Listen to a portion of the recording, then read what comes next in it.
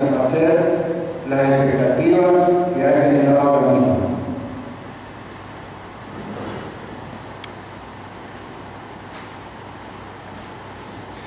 Cuando en el año 2007, en la oportunidad de conmemorarse el 120 aniversario